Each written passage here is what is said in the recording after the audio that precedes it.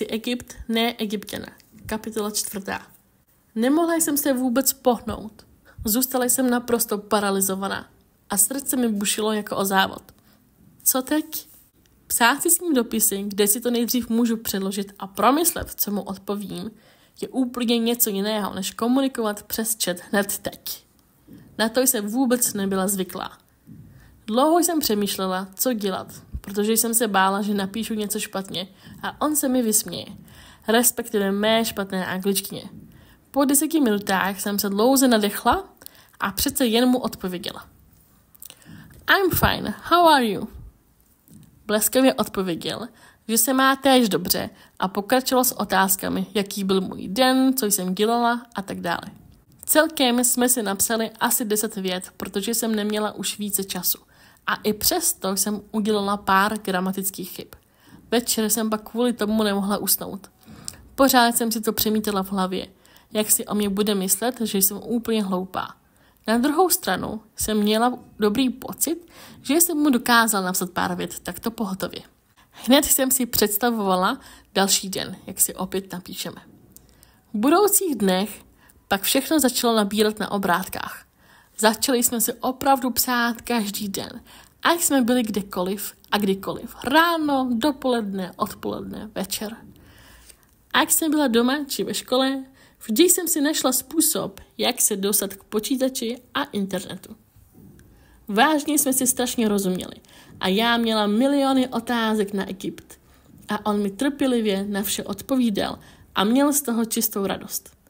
Rovněž, jelikož jsme oba milovali cestování, jsme si společně začali psát seznam, kam se spolu jednoho dne podíváme a co chceme zažít. Mysleli jsme to vážně a těšili se, že jednou společně procestujeme celý svět, protože jsme chtěli vidět stejná místa. Začali jsme si též posílat fotky. Já mu začala posílat, jak to vypadá u nás, náš byt, škola, hudebka. A on mi poslal pyramidy, jeho školu, sportovní klub i práci jeho táty. A jednoho dne mi i poslal fotku obrázku, který namaloval. Byla tam vlajka Česká a Egypta a uprostřed nakreslil nás dva a velké srdce k tomu. Když mi to poslal, strašně mi to potěšilo, ale i trochu vyděsilo, protože jsem si začala uvědomovat, že možná mezi námi začíná vznikat něco víc než jen přátelství. Prozatím jsem to nechtěla vyslovit nahlas, ani o tom přemýšlet, protože se mi líbilo, jak si rozumíme a nechtěla jsem to ničím pokazit. Jednoho dne se mě pak s nedodání zeptal, můžu ti představit své kamarády? Srdce mi poskočilo radostí a byla jsem vážně nadšená, že jeho nejbližší lidé o mě vědí a že i budu mít možnost poznat jiné egyptěny. Nadšeně jsem tedy souhlasila. Ano, moc ráda je poznám. Oni o tobě stejně už vědí všechno a moc se na tebe těší. Takže ty jsi jim už o mě říkal detaily? Smála jsem se tomu. Ano, řekl jsem jim o tobě úplně vše, až jsou z tebe nadšení. Uvidíme, jak budou nadšení, až mě vážně poznají. Jsem si jistá, že přátelé, se kterými se bavíš, budou stejně úžasní jako ty. Tak super, chvilku počkej, já je hned všechny svolám a připojíme se všichni dohromady.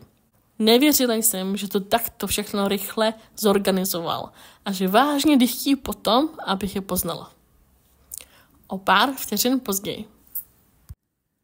Halo, jste tu všichni?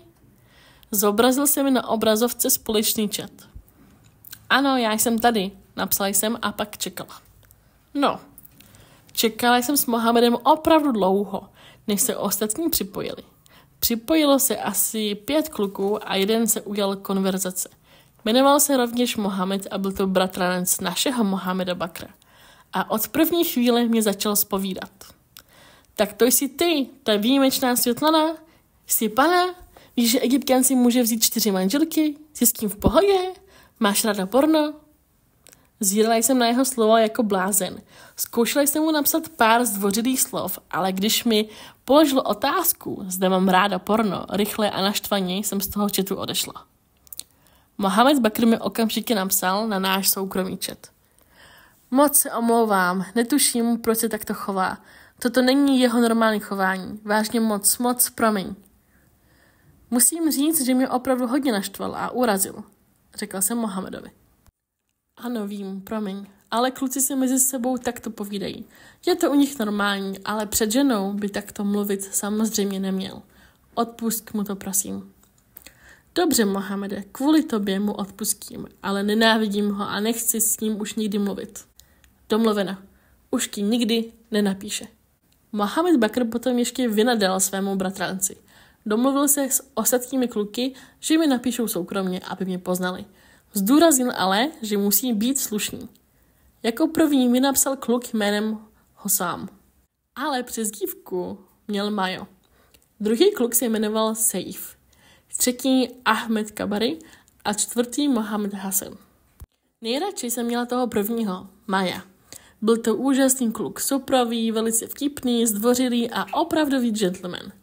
Ten mě upozornil na to, že si musím zvolit nějakou přezdívku, protože v Egyptě má každý přezdívku. Hned mi také prozradil, že Mohamed Bakr má přezdívku Mído, což jsem o něm doposud nevěděla. Majo, já ale nevím, jakou přezdívku si mám zvolit. Můžeš mi s tím pomoci? Jasně, popřemýšlíme spolu. Když je tvé jméno Světlena, tak bychom mohli zvolit třeba Sveta. Mm, ne, to se mi nelíbí. Zkus něco jiného. Ale je to opravdu nezbytné? Každý v Egyptě má přezdívku. Bez toho nikdy nebudeš opravdová egyptianka. Tak dobře, chci mít všechno egyptské, tak přemýšlej dál. Už to mám. Opravdu? Ano, tvá přezdívka bude Svea. Svea? To zní supravě, tak jo. Strašně se mi líbilo, jak to zní, Svea. Zní to opravdu hustě. A navíc si to má první egyptská přezdívka. Byla jsem v sedmém nebi a pořád jsem si to opakovala dokola. Navíc jsem byla rovněž nadšená z toho, jak rychle jsem se s Majem zkamarádila. Úplně rychle, přirozeně, nebyl mezi námi žádný problém. Jako by to nebyl první den, ale znali jsme se už dlouho. Safe. S tím jsem prohodil jen pár slov, ale neměli jsme nic společného. Spíš to byl takový frajírek, takže mě naše společná konverzace vůbec nebavila. A po pár minutách jsem to ukončila. Ahmed Kabary. Byl pro změnu geniální kluk, byl to matematický genius, který si žil spíše ve svém světě a o normální život se moc nezajímal. Každopádně jsme se domluvili, že mi od teď bude pomáhat s matematikou. No a jako poslední se mnou mluvil Mohamed Hassan. Vlastně mi napsal až v jednu hodinu ráno a ani nečekal, že budu online. Slíbil však Mohamedovi, že mi napíše, takže spíše chtěl splnit svůj slib. A ani na mě moc zvědavý nebyl. Jenže, tak ty jsi ta slavná Mohamedova světlena? Ano, jsem jeho kamarádka. A odkud jsi? Co studuješ? Kolik je let? Měl milion obyčejných otázek a na první pohled působil strašně arrogantně. Začala jsem mu tedy postupně odpovídat a najednou jsem se podívala na hodiny a zjistila, že už jsou čtyři hodiny ráno. S Mohamedem Hasanem jsem prokecala prakticky celou noc, což bylo neuvěřitelně divné, ale měli jsme strašně moc podobné názory a pohled na svět. Za tu jedinou noc jsme probrali snad všechna témata, která existují. Navíc to nepřipadalo divné jenom mně, ale i jemu to bylo divné. Už jsou čtyři hodiny ráno. Omlouvám se, ale musím jít spát. V šest ráno vstávám do školy. Cože? Už jsou čtyři hodiny? Já musím taky jít. Vůbec jsem neměl v plánu si s tebou povídat takto dlouho. Ani já jsem to neměla v plánu, ale stalo se. Je velice zvláštní, jak moc si rozumíme. Ano, je to divné. Ale jsem ráda, že si rozumím s kamarádem Mohameda Bakra. Můžeme být opravdu kamarádi. Možná, uvidíme. Tak zatím. Čau. Upřímně mi bylo strašně divně. Cítila jsem se, jako bych Mohameda Bakra zradila.